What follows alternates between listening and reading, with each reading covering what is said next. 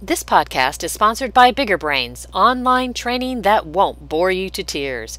Expand the minds of your workforce at getbiggerbrains.com. Welcome to Permission to Speak, the video blog and podcast that loiters at the intersection of leaders who want their people to speak up, technology that facilitates connections, and results that serve our higher purpose. Now, here's your host, Kelly Vandever. Hi, welcome to the podcast. It's Kelly Vandever, and today I have not one, not two, but three people that I'll be interviewing. And they are all from a company called, excuse me, an organization called Per Scholas. Perscolis is a nonprofit organization that drives positive and proven social changes in communities across the country. Through rigorous and tuition free technology training and professional development, the organization takes motivated and curious adults who are unemployed or underemployed and prepares them for successful careers in IT as IT professionals, and it creates an on-ramp to businesses in need of their talents.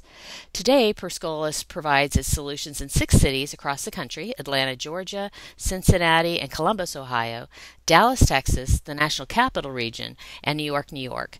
To date, Per Scholas has trained over 5,000 individuals, helping them build lasting, life-changing skills and careers in technology. So clearly, you have a great organization that's got a wonderful mission, a higher purpose that employees can get behind. But what we're really going to focus on here today is your internal organization and how you've been creating an environment where people feel um, they're able to engage and speak up. So, our, our three interviewees today are joining us from Per Scholas headquarters in New York, and we have Ken Walker, Vice President of National Site operations. Ken, could you wave to let everybody know who you are? Thank you. And we have Jerome uh, although I, you guys call him, what do you normally call him there? Dr. Dazzle. and I think that's uh, you. We'll probably see during the interview because he's brilliant and dazzling, right? And, and then um, he is the director of information systems, and we also have Emalee Rodriguez, who is the talent and internal communications manager. So, welcome y'all to the podcast. Thank you very Thank much. You. Thank you, Kelly. Well, as you know, we start by uh, getting to know our individuals a little bit more as a person. So I have got some some uh, quirky questions to ask you first before we get into the, the meat of the content. So, our first quirky question, what I'll do is I'll ask each of you to answer the question, and you guys might get to know a little more about each other too in this process, right? All right, so first, who would like to answer? Uh, and tell us what your favorite guilty pleasure television show is. Who'd like to volunteer first? So my my guilty pleasure is Scandal. Oh, I love Scandal. Love Scandal. I love Scandal, but the idea of a person who fixes all problems, so Olivia Pope, and so I call myself Oliver Pope. I, like to think I'm a fix it kind of guy, um, but I love that series, and um, it resonates with me for a lot of different reasons. So that's my my little quirky thing. Okay, yeah, I think you're not alone in that addiction. So yeah, great. Uh, who would like to go next? And and I would say, and Jerome and I were just talking about this that we love The Walking Dead. Mm-hmm. The Walking Dead is like my favorite show, um, just because it's cool and it's stressful. They have to survive. Um, so I would say that was my that's my favorite guilty pleasure TV show. Okay, it, clearly I watch way too much television because I love both of those shows. and Jerome. Yeah, I'll have to agree with Emalee. The Walking Dead. I've been a huge fan of that show for quite some time. I've read all of the graphic novels to date. Oh wow! Uh, so yeah, it's by far my most favorite television show. I, I have a, a, fantasy of being a zombie on that show because I live here in the Atlanta area. So you know. yeah, so uh, I mean, I'll throw this in there. So sometimes what I do just uh, mess around with my family. I I walk around uh, as a walker, so the way that they would walk, right, right foot behind me, just to freak them out, just for. You do not. You do not. Oh shoot. Okay. Um, and then our next. Do you guys believe that? I mean, you guys. maybe you know him better. All right. And so, um, our second quirky question is, uh, what is your favorite possession? Maybe Jerome, we can start with you this time. Um, yeah, I'll have to say it's my Xbox One console. It's my favorite possession. So yeah, when I'm not uh, out and about or traveling, um, I do love to game, and I'm a pretty avid gamer at, at, times when I do have the time. So it'll be my most, yeah, my prize and most favorite possession. So, so even though you do technology at work, you're not done. When you get home, you got to do some more, you know, yeah. techie geeky stuff. All right, excellent. Keep it going. All right, who'd like to jump in next? Next. Okay, so I just bought a Fitbit Blaze over the weekend. So first of all, Amazon is like awesome. You can decide in one day you want something, and that night you get it. But I am a half marathon, and so I love the idea of being able to track my steps. And if anybody's interested, I'm up to seven. 9,734 today. What? So that's pretty impressive. Did you walk to work? I didn't walk to work, but I ran this morning. Right. Wow, wow. Okay, I am impressed. I'm lucky if I do that in a day. So excellent. Okay, and Emalee. Uh, so I would have to say my two favorite possessions would be one, my phone. I'm gonna say what everyone is always everyone's always on their phone and I don't know what I would do without it. I really try to disconnect when you know when I get home and I'm not at work, but I feel like we all would be lost without our iPhones. Um, and then I also love to read, so I would say my bookshelf. I have a huge bookshelf at home with all my favorite books, so I would be lost without without that. Very cool. Very cool. Very cool. Excellent. Okay. Well, now for the uh, more juicy questions, uh, kind of transition ourselves into the, the content a little more. Um, I'm curious to know each of you, uh, what's your story what happened in your life that got you to a place where you cared about employees having a voice and being able to speak up? Yeah. Um, so before I came to Per Scholas, I worked for a nonprofit organization in Baltimore where I trained adults in ways to communicate with their children that fostered social and emotional competence. So I've always been a really big fan of communication. I studied communication in school, um, and I really feel like it's the the way to um, happiness in the workplace um, and at home. Um, so when I came to Per Scholas, I was on, in the marketing department before I was in talent, and uh, my colleague and I built this program that helped give the students, our graduates, a voice, um, and that was amazing. And um, I saw how powerful it is. I think in our training, we can all agree that when students come in, there's a total transformation that happens once they're given the skills to be successful in the workplace. And that much of that success is due to communication skills. So, workplace etiquette, how to interview, how to write a resume. Um, so, I found I really gravitated towards number one, giving the students a voice, and two, if there was any some sort of um, internal communications project going on, I would kind of figure out a way to get involved. Um, so I yes. Yes. so I I found that I've just always gravitated towards it and um, have really found it effective in transforming our students, transforming our staff, and as well as the work that I did before I came to Per Scholas. Very cool. Very cool. So, gentlemen. Um, so the first half of my career uh, I spent in corporate America before I uh, joined the non-for-profit industry and um, specifically in retail banking. And uh, in that, um, it was very performance-driven. Um, so everything was on number and um, numbers oriented and results driven. So um, you know, there wasn't that much of an employee voice um, into initiatives, into projects. As everything, you know, a lot of the uh, programs or initiatives or even new ideas always came from the top down. And um, it didn't really uh, shed the importance of hearing employees, um, not until I joined Per Scholas, you know, four years ago. And, and joining the non-for-profit space and the industry for the first time, um, it really gave me that personal approach to working and culture as a whole uh, seeing how important not just in the, um, the the vision and the goals of the organization to help uh, communities and help folks succeed, but seeing how important um, it is for staffers and how very much appreciative they are of that work, and how important it is for them to be heard. Um, because you know, believe it or not, uh, you know, for the four years that I've been here, a lot of our projects and new initiatives was all driven just by regular folks, um, not from the executive team coming down just by folks sharing their ideas, their innovations, and just having that culture where others would pick that up and just drive that forward or drive that to the next uh, step. Well, and Jerome, as you um, look back at your corporate career, because a lot of folks that may be listening to this may not be in a not for profit organization, so they are in that corporate world. Would you see the things that you're seeing at Per Scholas translate into the corporate world as well? Um, yes, uh, absolutely. Um, you know, and there, yeah, and there's so many ways uh, to accomplish that. But again, it it all is, uh, you know, it all starts with just a shift in culture and a shift in thinking. Um, but more importantly, is having that executive and leadership, you know, buy-in. Um, you know, if you don't have that buy-in uh, from your executive team or senior leadership team, you know, things can easily die or just fall off the wagon, so to speak. Right. Gotcha. Right. Gotcha. Thank you. Thank you.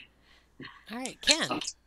So mine is a little more personal. Um, so I grew up with um, a mother who was schizophrenic, mm. and um, I think I had a good sort of insight into what um, what kind of medication um, um, doctors give to folks who have mental illness, and so the the goal is to make them quiet, um, to to diminish their voice, and um, that never really made sense to me.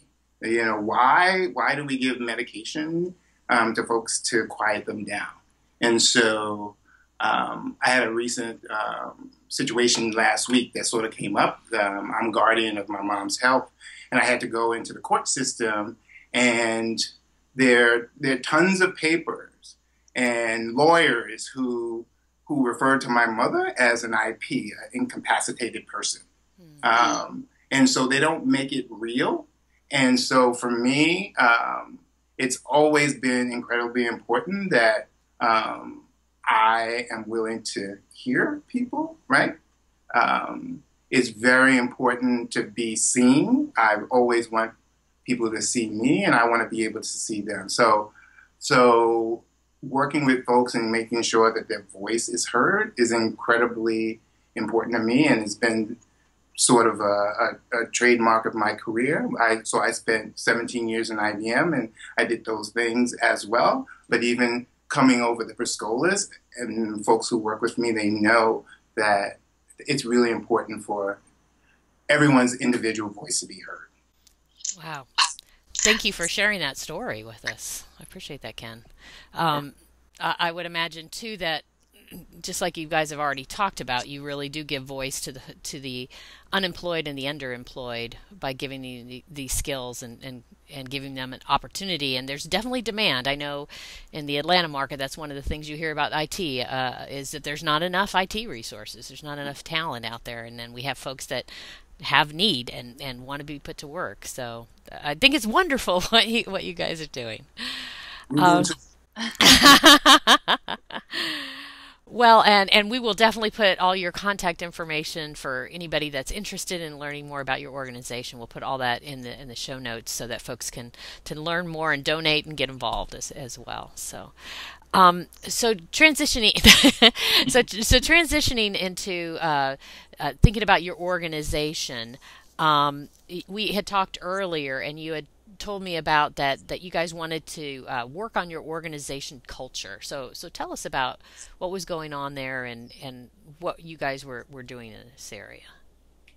Yeah, so a, a couple of years ago, uh, as an organization, we started to think about our national growth. So in 2012. Um, is when we made a decision that we were going to expand to cities outside of New York, uh, outside of New York. Um, but we realized very quickly that managing a one site location is very different than uh, managing multiple sites. So um, we went through an exercise where we identified as an organization um, four projects in areas in which we wanted to work on, and one of them was culture. Um, we had heard quite often from employees that you know there were issues with communications, um, and so we knew um, as a national organization that was just going to be uh, a challenge that was going to get larger over time. So um, we decided as an organization that culture um, and making sure that we cultivate that culture in a way that's positive across the um, organization was key. Um, we're sort of unique in New York City, so we have about 50 folks in our New York City office, but in our sites outside of New York, it's four to five, right? And so, because they're smaller offices, sometimes, and I'm going to use this phrase, which is not a good phrase, but they feel like the stepchild, right? Everything's happening in New York City, and we're not focusing on what happens in the NCR or Cincinnati. So, thinking through as an organization, how do we make everyone sort of feel connected to the larger mission and goals that we have as an organization was incredibly important. Um, but yeah, culture um, is something that is near and dear to all of us in the room. And I think um, over the last year or two, folks have started to see a shift um, in sort of the language that we use, the way that we communicate. That's been extremely positive. Very cool. Very cool. Oops, I'm getting a little echo. Sorry. um, so, uh, so what is it that you wanted to? Uh, you you had mentioned. Uh, I think Emalee, you had, you were telling me about some culture work that you were doing, um, and you had identified some things that you wanted to to to make sure were part of the culture as you grew to these um, additional areas. Um, Yeah. Do you want to talk a little bit about that, or? Sure. Yeah. So so Ken um, set up very well that we invested in this project to define our culture, and um, I, I consider phase one done. But you know, the rest we we are still working towards. I think culture is a living, breathing thing. Um, so we really identified the things that we want to keep, the things about our culture that we really like. Um, and some of those were, were really innovative. Um, as Jerome sort of alluded to, that when someone has a really good idea, whether they're at the bottom or the top of the ladder, um, we we investigate and we if it's a great idea, we go for it. So innovativeness was really um, top priority. We really wanted to be transparent. That was something that we wanted to build upon. Um, and that goes back to the growth. So if something happened in our headquarters in New York, the information needs to be spread widely. People, everyone needs to know what's going on, whether you're here um, or somewhere else. Um, we also wanted to uh, keep building on our technology. So Jerome and Ken have been really integral into building our technology infrastructure. Um, and I, I know we're going to talk about one big project that we've been working on, but it really has been years and years of projects building on each other. So we went to you know Google Apps a couple years ago. That was a really big shift to go into the cloud. Um, so the focus on technology, as coupled with um, transparency and coupled with innovation, um, I think has brought us sort of to where we are today. which kind of does lead us to, to that, that technology innovation. um, so you guys decided to adopt a tool that would help give people a voice. So maybe Jerome, you could talk a little bit about uh, what you guys decided to do there. Yeah, um, absolutely. So um, before I dive straight into the tool, um, some little bit of context. We explored um, an intranet um, in our early days. Uh, for me, it's early, I, I, guess, but it's not that long ago in 2012. Uh, reason why we approached this in 2012, we felt that we were at a good point um, in our organization um, in terms of starting our expansion to really uh, work on an intranet project where we can bring folks, you know, outside of our New York uh, office, you know, together. Um, but one of the challenges that we ran into that um, the adoption was high in the first month, but it just quickly fell off um, because we did not um, do enough of the due diligence um, on you know on our end to make sure the content um, is up to date, uh, and more importantly, really understanding the usefulness uh, for an intranet for our staff. Um, so this was a good example of approaching a project from a one-sided view, and that view was a small group of folks uh, thinking about what this would look like um, without really start, you know, um, doing uh, an analysis as to what you know folks really needed or wanted to see in an intranet. Um, so uh, for years or three years after that, we've kind of like, you know, tagged it along uh, slowly. Maybe it was just used just for one small aspect, which was to access certain HR uh, documentation more specifically the employee manual, but that's about it. Um, but coming into uh, this year or late last year, uh, we felt that it was important for us to revisit um, a technology or a tool that will help us to bring our culture um, together. And all of the work that um, that's been done up to date um, around culture, um, we felt that an intranet or a new version of intranet would have been that tool. Uh, so we did our research um, and we came upon the platform, you know, that's called Jostle um, as a go-to platform. Uh, but before we even decided on that, we had a, a small committee, uh, myself, Ken, Walker, Emalee, and two other folks, to really talk about what do we envision our new intranet to be, and using that as a baseline um, to make sure that whatever we are going to invest in um, covers most of those things. And it just so happens that Jostle was that product, um, a system that was just off the shelf, um, didn't require much, um, you know, developer or app integration. So it's kind of just take it as you go and customize it as needed, but more importantly, use it to the way that you envision uh, your employees and, and the staff um, working on this platform. So how did that work together to create that that ability to give people that uh, uh, to speak up. And, and maybe Ken you could talk about that. I guess with your job title I envisioned that uh, the national piece of it was is sorry I'm a, i talk with my hands a lot. Uh, but that, that that was part of your scope of, of what you really cared a lot about. Yeah so um, so I didn't think about this too much but yeah, so I was a part of the national growth team in 2012. And so I had the unique responsibility of going to each of the different markets and sort of really getting a sense of what a four, five person um, office looked like and how different it was. And so I had experiences like going to our Columbus office and being on a teleconference call with all the folks in New York City and not quite hearing things as well and as effectively as I wanted to.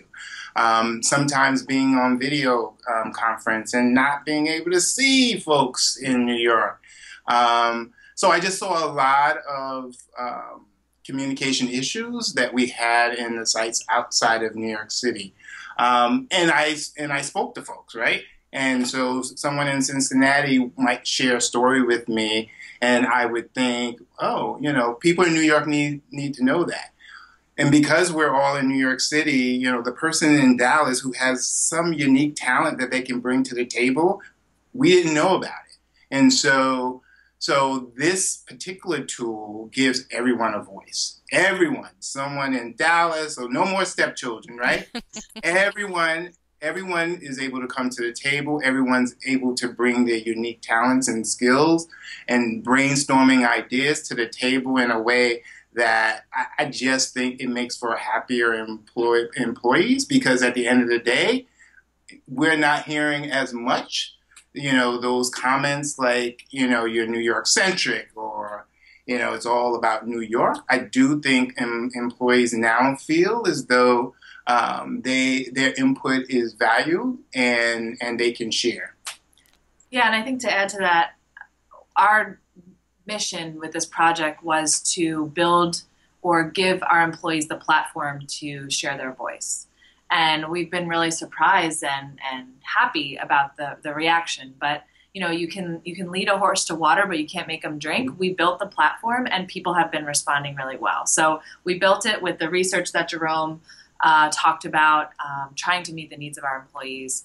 And I think that we built the right platform because people have been responding. We haven't been, it hasn't been pulling teeth to, to have people really which is nice. Which is wonderful. And people are sharing freely, and it's a really great tool. Well, you guys had shared with me the the kind of engagement rates you're getting. Do you mind sharing with our audience what you've been seeing?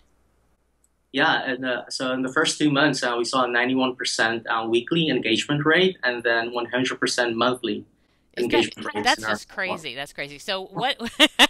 so what have you done that, that you feel like made that successful for you? Uh, it's just a very thoughtful way of um, uh, leading up to the launch of our, of our platform. Uh, so instead of saying or um, unveiling to staff to say, okay, hey, here's a new platform, and you know we're going to start using it as of this date. Um, you know, uh, Emalee, Ken, and I, we really thought about doing what we call, um, you know, kind of like workshops um, or sessions. You know, we did this uh, three weeks prior to our official launch date. And the essence of these workshops were just to focus on small features of our platform and introduce that to the staff. Um, do this via a webinar format or video conferencing format, so where everyone was invited to join uh, the session, and just making it very, you know, very informal. So, uh, you know, something that is fun. Uh, there were refreshments. Uh, there's foods. Uh, with each um, week, you know, we always um, did something bigger, a little bit bigger than the prior week. So it really uh, made folks excited to see, okay, what number one, what was it that we were going to talk about about this platform? But you know, more importantly, like, what are we going to give away? Are we going to give away anything? What is there going to be for food? Um, and we and we kept them really short. Um, so these are not hour long sessions; they were just half an hour, um, you know, sessions. So being really thoughtful around that. And then as we led up to our official launch day, folks um, were they got a product where they were very much familiar with how they should use it. So there wasn't that learning curve that they needed to go through. So here it is. It's unveiled to staff, and they just dove right in. Yeah, and we also, um, I think that we've all learned through our through launching initiatives with the whole organization that when you're trying to launch something new to 75 people that are geographically dispersed, you have to say it 10 times, right? Mm. So you can't just say it once. You can't just say, okay, we have a training and this is what's going to happen. So we really focused on uh, different channels. So we have site leads at each site. You know, we funneled the information to them that this was happening. It came from the top down. Our CEO was involved uh, with the launch. He made an announcement. We had an announcement from our CAO. Um, we also identified a group of, uh, we selected a group of change champions, is what they, we called them. And they were really a group of people that we saw that had uh, influence on their sphere of people around them. Um, and we met with them, I would say, what, two or three times? Yeah. Um, yeah. And really tasked them with being the leaders within their um, cultures of the community to, um, to push this forward and talk about it and go on it and give us feedback. Um, so they had pre they had sort of pre access to the platform before everyone else, um, and that group was really helpful to navigating some of the challenges that would have occurred if not. Not that we told them, but uh, uh, yeah, I was going to say not that we told them, but they also served as our beta testers as yeah. well. How did you select those people? So we, the three of us, sat down and we, I think we know the organization well in terms of we know, I guess the uh, the advantage of having an organization that's only 80 people is that you kind of know everyone, not really super well, but you kind of know every, you know, every microculture, I guess. Mm-hmm. Um, so we tried to choose people throughout the organization, geographically different, um, that were excited employees. You know, they cared about our work. Everyone cares about our work, but our biggest cheerleaders of Per Scholas, um, people that uh, were tech savvy, that cared about technology. Um, anything else that we really focused people, on? People who have a good personality. yeah. I don't know. I mean, cheerleaders. Seriously, right, right, cheerleaders, right. And so, I mean, I can think of Jamaica, for instance. Her smile is. We call her Smiley. Right, right. I mean, her smile is awesome, and she just has a way about her um, that gets people excited. So so anytime you, you're working on a project where you really are trying to um, increase adoption, get folks excited, you need folks on your team who are excited as well. So um, so we were very intentional. I mean, we looked at a list. We, you know, we picked folks. We discussed it, um, and I think that was, I think that was really important um, in moving this forward. Okay, I, I want to ask a question. I don't want to put you on the spot, but I kind of want to ask the question. But you will anyway. I kind of will. Um, did you? Was there anybody that you and you don't have to say names or anything, obviously, uh, but did you did you consider did you cross your mind to say you know so and so kind of drags their feet about new technology, so if we get that person involved, um, maybe they'll help us convince other people. To you know, if they're on board, everybody will get on board. Or, or maybe that wasn't, maybe that didn't come up as a discussion item. But I'm, I'm just curious. I got to ask. So I think, so I can speak from my experience at Per Scholas, and I think that we've actually employed that uh, tactic in the past with other projects. I can think of a few, and it hasn't worked out as well as we thought it would. So we found that some people that drag their feet drag their feet, and it's it's easier. I found that it's easier to get the people on your side that are going to be on your side than and have them sort of be the influence than try to change people that are supposed to be influencing others if that makes sense Nice. Yeah. Totally agree. And yeah, and to add, a very important trait that we looked at in terms of our change champions is having that influential ability. Um, that was kind of like the top end of our list, you know, top of the list. Instead of focusing on getting folks who are not that tech savvy on board, we wanted the folks that had great influence and to help drive others who were slow towards adoption, um, getting them adopted much quicker and much faster. Well, th- thank you for letting me put you on the spot for that because I, I know that's a question that other people struggle with, and to hear your response, I think uh, will be helpful for them. So thank you. Sorry. Oh no no no because I because I think right. So focus on the positive, right? So focus on the the the change agents within your organization that's going to affect positive change. I just think is the way to go, and I think we've seen a shift in culture um, in the last couple of years where we are focusing on assets and things that are positive. And when we talk about our students, you know, they come from the community, but they bring so many unique, fantastic assets to the table, and that's where we want to uh, focus on as an organization. wonderful, wonderful. Thank you, thank you. yes Okay, uh, just looking at my list here. Um, so, would you mind sharing some examples? Because it's it's good to talk about some some generalities, but if you could talk about some examples of what the tools are doing for you and how that is giving people the ability to engage, um, what's important to them. I mean, because it's one thing to say uh, to do a, well planned uh, presentation of what the tools do, but you don't get that kind of engagement unless there's actual value that people are getting from from the tools that you're using. So, can you talk a little bit about some examples of what they're getting and then how that's impacted the organization? So there is um, so a, rea- a reasonably new employee. Um, let's call her F, and um, she has a she has a drive and excitement for literacy, and um, being new to the organization, um, she got onto the platform and said, "Hey, I'm interested in providing some some books and some reading to to our students." Um, right. So she's she's activating her passion, which is literacy. Um, she's she's speaking up in her early days at Per Scholas. And I think she was pleasantly surprised by the reaction and the feedback and From response sides. from all sides. Everybody was like, "Oh, that's a great idea," and they gave their um, suggestions, and um, it was. I know for me as a new employee to walk into an organization and to be able to have a voice early on incredibly important and then have it reinforced by other folks who are kind of strangers in some respects right? Because she just joined.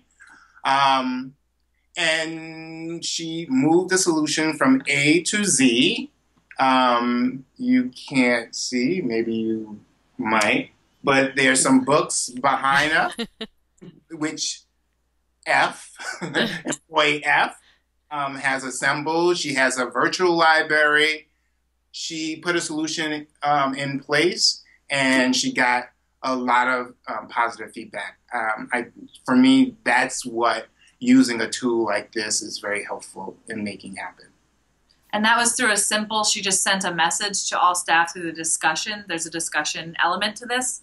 And um, it was a really long conversation, and they were able to work out a solution all via electronic communication. Very cool. That wasn't, um, and that wasn't clouding our inboxes, our email Yes. inboxes, Right, which right. is another barrier that we've had to communication. So it was, it's been really helpful. I think that's real key for people to understand that it's not like a long email chain that, that was going on. It was a discussion on the platform. Yeah.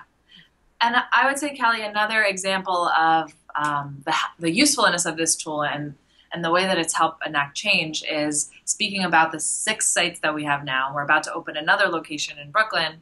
Um, we started last year um, from some feedback that we got at a retreat that um, communication is key and we all need to be knowing what's going on at all the sites. So the information wasn't really flowing very well. Um, and so last year we started an email um, schedule, I guess, where all of our site leaders would send an update um, every, you know, once a week. Everyone would rotate about what's going on at their site. It's almost a letter from them um, to the rest of the organization, and just keeps us all in this in the loop of, of what's going on. So that has um, transformed from being an email thing, which we don't even know who was reading it because so many emails, to now it's on Jostle um, as an announcement. So um, site leaders can add photos. They can they really add their personality to these communications, uh-huh. and it really helps not only just convey the facts about what's going on in Dallas or what's going on in DC, but the personalities of each site leader because our, our organization is very diverse um, and it really helps to put a face and a personality to a photo on the internet um, and has helped internal communication a lot. And the voice you hear from the Midwest in Ohio is very different than the voice you hear from Dallas. And so um, just thinking through culture and and so you know I remember the early days when I went into a city, I really felt like I was a city slicker going into you know the Midwest, and so we as an organization know that it's very important that that uh, an authentic voice from each of the various regions is coming through. And so, just incredibly important um, as a culture. Everything can't come from New York because New York is an anomaly. Um, you know, America is, you know, the, the South, it's the Midwest, it's, you know, it's Maine, it's, it's, it's all of us. Very cool. Very cool. Um, so you talked about the discussion boards. What are some of the other uh, things that are valuable for your folks on the on the Jostle platform?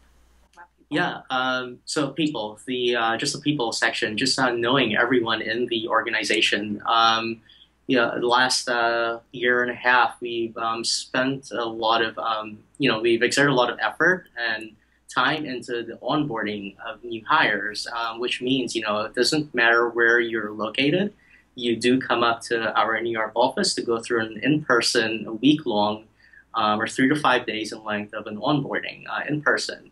But um, what we've noticed with the launch of the platform is when new hires come in, everyone knows who they are already. Prior to this platform, we just didn't know who they were. Like, who are these people? You know, are they a guest of us? You know, who are these folks? But just uh, you know, knowing who's who before they arrive, it's you know so empowering. But more importantly, for that new hire, um, it is so you know personal. is so welcoming uh, that you're coming to a headquarters. But wait, you know, how does everyone know who I am? Uh, which is you know, and they pretty, say pretty awesome. And yeah. that's what they say when they come here. It's like everybody knows me. I feel like I've been I belong here. Right, I belong here, which is nice. cool. Very nice. Very and then the second piece of this is just uh, celebrating uh, uh, updates and sharing updates, sharing shout outs, whether it's a simple birthday shout out or just a celebration of, of something. Um, and it doesn't always revolve around Per Scholas business related work. Um, it could be personal success stories that you know folks now have the platform of sharing with their colleagues at, at work. But more importantly, just having that feedback um, and that discussion in the comments from everyone in our organ, not just you know geographically confined to one location, which it was in, in the past. So we've become more, we're three dimensional, right? Right. So we're, I mean, we're learning more about. So I mean, these guys probably heard a personal story today that they never heard, but and I heard some things I didn't know. Dazzell pronounces his name differently. um, I didn't know that, um, and he reports to me. But, but um, but yeah, just being able to learn more about the individuals within your organization, I think, creates a connectedness that is awesome. Yeah, I, I, th- I definitely think that personal side. I'm sorry. Go ahead, Emalee. I was going to say the people function is just really helpful. It has a photo, it has a little bio. Um, you can put in your birthday, you can put in your start date. We've been doing a lot of uh, anniversary, Per Scholas anniversary um, celebrating lately. Um, so really, it's just helpful to get to know your colleagues. Yeah, and um, and we also spent quite a bit of time to thinking about the content that goes into the bio, and uh, there's a section in the bio that has tags or, or, keywords. So we spent a lot of time going through each employee and really thinking about what those keywords are, making sure that it's aligned with the work that they do at Per Scholas. And the reason for that is that we really want to be thoughtful and provide a platform for folks not just uh, seeing others, but typing in um, uh, something that they're inquiring about and then just having that name pop up uh, to see who's that person that is, whether they're the change champion for this or the person responsible for doing that, uh, has been very useful for, for staffers. Have you gotten any feedback from your employees about, hey, it would be cool if it could do this or if it could do that, or are you seeing other kinds of things come up? Yeah, we've, we've actually received a, a couple of um, you know feedbacks. Um, so there are features in here that the platform yet you know, doesn't yet offer. However, um, they do have a forum for us to post um, you know feature um, requests. And you know, in our you know chats with the Jostle team, we also mentioned these features you know to them as well. Um, and we also have um, the privilege of um, getting early beta testing for some of their new features that they roll out. So uh, it's pretty awesome. Very cool. Very Jostle's a great partner. They've yes. been very collaborative with us the whole time. So we're very grateful for their communication. And I made a comment last week, and I said Canadians are very friendly. and I know, but I but I mean that the customer service, um, just being very um, customer focused. Um, has been for me sort of a, a, a surprise in a lot of respects. Um, but it is so important to me, and so um, my area of operations, you know, for me, I feel as though we are the sites outside of New York are our clients, and so it's very important that we are being um, customer focused. And so, anyway, the Jostle team has been awesome as far as um, giving us a, a, a, forum to give our suggestions and ideas and tell our story. And um, yeah, it's been pretty incredible. Very cool. Very cool. Well, what have been some of your pleasant surprises along the way as you've been as you've been rolling this out, or as you've been working on this culture work that you're doing? So Jerome and I were talking about this this morning. Uh, we are like, what are some of the surprises that we've had? And we so last week. So a great example of um, the positive, our positive culture at Per Scholas is um, our CEO, who has historically, you know, when we were just one or one location in New York, you know, he he walks the hallways, he says hi to everyone, he knows everyone's name. That's just the type of person he is, um, and that gets harder as you get bigger. And now we have a huge staff in New York, and he's here. He travels a lot.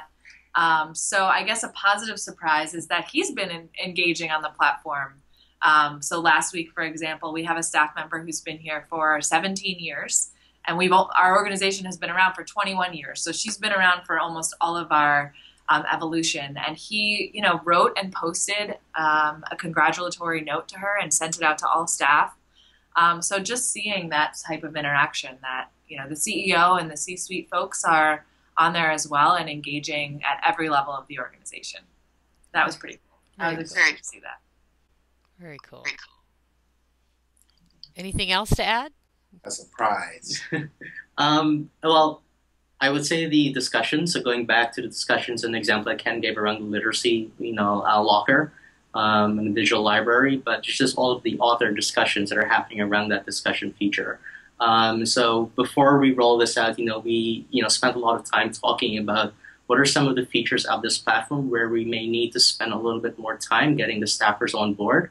And uh, for some reason, the discussions was one of those things where we kind of kept at the bottom of the list to say, you know, it'll be interesting to see how folks engage with this aspect of the platform. We don't see this being very highly adopted in the first couple of, phases or first couple of months. But, you know, to my surprise, I would say is that, oh man, it's been a total opposite of that. Um, you know, so empowering to see so many discussions happening and the sharing of ideas and you know innovative things and thinking um, is very yeah powerful.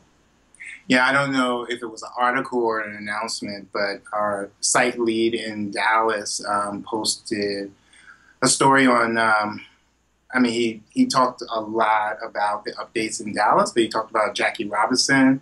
Um, and I just remember thinking I never would have known. It was, I just found it interesting that he posted um, something org about right org wide about you know African American history and him having the courage to post that and then um, communicating that across all the site. I I just think that was interesting, and I think it helps to embrace the diversity that is Per Scholas in a lot of respects with our students. Um, the organization um, is focused on a campaign right now where we're embracing diversity. And so hearing unique stories um, from the various areas within our organization, I just think is going to make us stronger um, as we uh, lend our national voice to the conversation on diversity. Very cool. Very cool. Very cool. Very cool. Well, what um, I, would like to give a, a, couple of minutes for you guys to to uh, talk about. Is there anything else that we haven't discussed that you think might be good for leaders to know? Is if they're going on a similar journey of of engaging people and and giving them the opportunity to have a voice. So I would say. Um, I want to just reiterate what we've already talked about about the culture change. I guess the the behavior shift of adopting a brand new platform. Um, so as we've said, our organization is very diverse. We have all ages, all backgrounds, you know, all colors, all. We have a very diverse staff. So you can imagine that um, trying to get everyone to do the same, to be on the same platform and do the same thing can be a challenge. And and I think that if if you're going through this type of uh, change, it's really important to to take your time and do the research mm. and really think thoughtfully about multiple, many, many channels of communication and how to get the message out. I think that's been a really important learning for us, not just for this platform, but in the future when we're rolling out future initiatives, whatever they shall be, um, that the phased approach, the, the mindfulness of of having change champions um, and really focusing on the positive, focusing on our assets rather than the few people that might be naysayers in your organization. I think that's we've learned from that, and uh, we're really we're much stronger uh, for it. so I agree. I agree. Very yeah, cool. Uh, and I would just add to what Emalee's saying, is just being really thoughtful and doing your research. So I would say from an information systems or from an IT perspective is that you know, in launching any new product or new platform, you know, we, we tend to first look at the platforms that are out there and try to make that platform or make sure that platform achieves what we're looking to achieve. But I think with this, we just did the opposite of that. So the last thing that we even looked at was the technology. But the first thing we focused on is what do we need as an organization um, in this intranet, and really, you know, having you know lengthy discussions around that then agreeing on here's what we need, then looking for a platform that matches that. There were tons of um, big name platforms that came up in our research, but again, it did not offer what we needed. And we found a platform that did just that. And, you know, it paid off huge dividends now. And last piece is not to worry about pricing. Um, you know, pricing for various things differ. Um, you know, again, being conscious also of your budget and more so as a non-for-profit. But if we feel that uh, something is out of our budget, but it still achieves 90 to 95% of what we're looking for, it is definitely worth the investment. I felt Jostle was a partner early on, and so so we had phone conversations with a Jostle rep, and we talked through um, on multiple occasions, you know, what we were looking to achieve, and so there was a lot of back and forth. It was an iterative process, um, we, as the core team, learned um, up front. I mean, we felt comfortable as we were rolling out um, this new tool, which was pretty huge for us um, to the organization. But that's because our rep, who I'll just say Jostle Rep T, um, was, I felt like a partner. And so with us every step of the way, when we launched, this person wanted to call us and know what happened. They wanted to see pictures of our big celebration party. And that kind of collaboration with um, with an organization. I mean, I don't. I personally don't see that um, when I typically look at bringing in a new um, product. So yeah, that that speaks volumes to me as to what the Johnson organization is all about. Um, definitely felt like I had somebody in the boat with me. Very nice. Very nice. Well, before we sign off, is there anything that you'd like to add about uh, Per Scholas or, or uh, anything that you'd like to share with the with the leaders out there that uh, folks that might want to tune in and and uh, and find out more about your organization? Do you want to give a shameless plug? No, Please do. That's a shameless plug time. Yes. so, Per Scholas really does create on ramps for businesses. We really do. I guess I always say the proof is in the pudding, and we are the real deal. I know it's it's coming from us, but um, if you know anyone that is unemployed or underemployed that is passionate and curious, uh, please encourage them to apply for our training in, in any of the cities. Um, and as the talent manager, people I'm hire I do all the hiring at Per Scholas. If you want to work for us, go to our website. Uh, we are hiring a lot right now. Yes. So um, I think I can speak for all three of us when I say that we're really proud to work for Per Scholas and um, really hope that we hear from people that are listening to this uh, podcast. Very cool. And I would say so Per Scholas has been very keen in in developing partnerships with employer partners, right? So we have a training program. You know, our goal at the end of the day is to get 80% of our folks um, jobs in information technology. So it is uh, a constant that we are always looking at employer partners who can come in and work with us, help collaborate with us on a new curriculum, um, uh, talk to us about hiring our students. And so at the end of the day, it really is. So we, we, we spend all this time with you, Kelly, to talk about our staff. But we, I think what drives us is being able to hear the testimonials of students in the community who, you know, got their first job in IT and now they can help their families. Mm-hmm. Um, uh, you know, achieve the goals that they have. And at the end of the day, it's just ordinary folks that we're working with who we're helping to change their life. So if you're an employer partner um, and you're interested in hiring very talented, very curious, proactive folks, um, check us out. Definitely check us out. We do good work. Very cool. Well, thank you, uh, everyone, for joining us this afternoon for the podcast. I'm so uh, delighted that you were able to share your story and keep up the good work. You guys do wonderful, wonderful things out there. Thank you. Thank you, Kelly. Great. Thank you, Kelly. Bye-bye. This podcast was brought to you by Bigger Brains, online training that won't bore you to tears. Expand the minds of your workforce at getbiggerbrains.com. Thanks for tuning in to Permission to Speak.